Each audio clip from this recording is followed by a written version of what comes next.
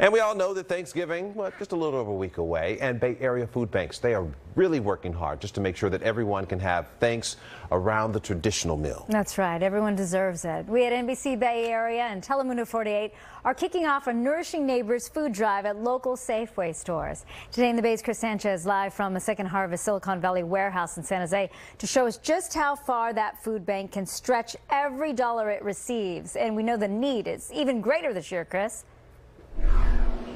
Oh, absolutely, Laura and Marcus. You know, they actually had to add more warehouse space because the need is so great. The uh, food banks around the Bay Area are serving 80% more people than they did before the pandemic. I have Kat Svegnos here with us, uh, and one in four people experiencing insecurity, and that's before the pandemic. Yeah, absolutely. We've seen the need go so high. When shelter in place happened, we were serving double the amount of people we were pre pandemic, and now we're still serving 80% more people every month than before the pandemic started. And that just tells you that folks are still struggling and need our help. And we know that, you know, you use money. Uh, donations are really handy, especially because of COVID.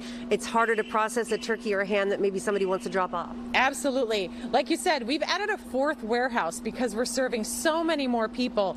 We're pushing out about 12 million pounds of food every month. And we can really stretch a dollar. Actually, all this produce behind us we get for free. So think about that. We can do that with a dollar, and we can turn a dollar into two meals. All right, and let's talk about what you all helped us do through our Nourishing Neighbors Drive last year.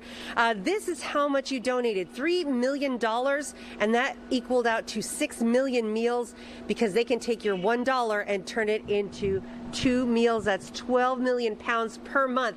And a lot of the donations that roll in during this giving season really do stretch into the rest of the year. And a lot of the clients here are seniors and they are children who perhaps are not able to eat at school. So we know that the need is great. And we know that your peppermint mocha costs about $5. So for two peppermint mochas, you could actually serve 20 meals to families around the Bay Area. And that's good to put it into perspective like that. 80% more people that are needed as well. Uh, Yesterday, I was driving and there was a woman, a homeless woman, holding a sign, and she called out saying, Hi, Laura. Hi, Laura Garcia. And I was struck um, because it just shows you don't know who the face of the homeless are anymore. It's true. She at one point had a home. She was able to watch yeah. us on Today in the Bay, and now she's on the streets. So it gives perspective of who well, are helping our neighbors here.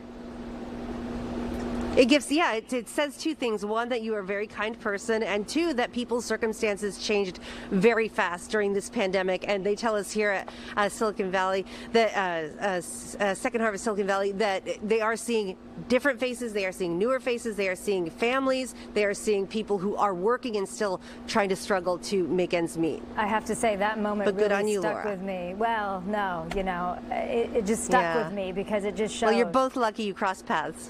We yeah. are. We this are. is true. Yeah. yeah. All right. Thank you so much. It's in giving that we receive. We yeah, absolutely. That. And it reminds me of something you told me a long time ago. Now, I'm, I'm going to get to this in a minute, but you told me how one of your kids said one time, Mom, that was someone's kid, or that is someone's child. Sure. You know I, when they see that? I do, because when I pass a homeless person, I always think, that was someone's baby. Yeah. Someone held that person. With. Absolutely. So let's think about our neighbors and this Nourishing Neighbors food drive. Yeah, Laura and I are going to kick off the month-long drive Saturday at Rivermark Safeway in Santa Clara. And actually, we're going to be there with some of our NBC Bay Area and Telemundo 48 colleagues starting at 7 o'clock. So if you can, stop by, say hello, and make sure you donate. There you go.